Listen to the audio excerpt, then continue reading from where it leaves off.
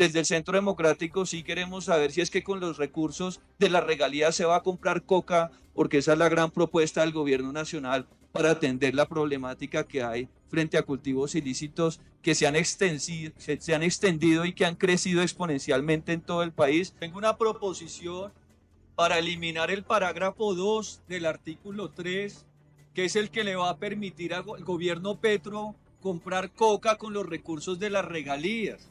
Y van más allá, dicen al menos el 2% de los recursos de regalías pueden ser utilizados para la implementación del punto 4 de los acuerdos de La Habana, que son los que hablan de la solución integral al problema de las drogas ilícitas. Eso me parece desafortunado y un abuso de poder del gobierno y por eso he pedido su eliminación.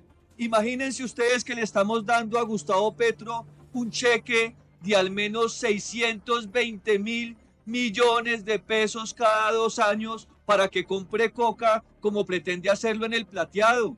Claro, cuando él hizo ese anuncio dije yo, ¿de dónde va a sacar la norma que lo habilite? Y ahora subrepticiamente en una reforma al sistema general de regalías nos presentan ese adefesio. Denuncian que el gobierno Petro busca comprar hoja de coca con más de 600 mil millones provenientes de regalías. La Comisión Primera de la Cámara de Representantes aprobó en primer debate el proyecto de acto legislativo que busca reformar el sistema general de regalías. El principal objetivo de la iniciativa es poder lograr que los municipios más vulnerables logren recepcionar recursos para inversión sin embargo, José Jaime Uzcategui, representante a la Cámara por el Centro Democrático, denuncia que al interior existe un artículo que le podría dar al gobierno nacional la posibilidad de comprar hoja de coca con recursos de regalías.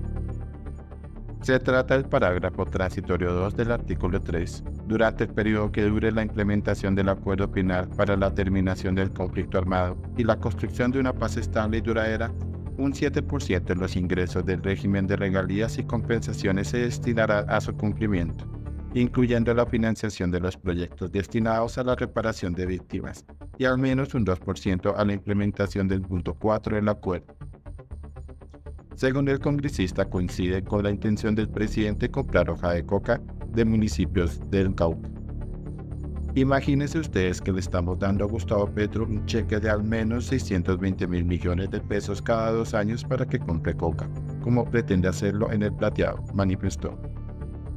El proyecto deberá surtir siete debates más, dado que se trata de un cambio de la Constitución.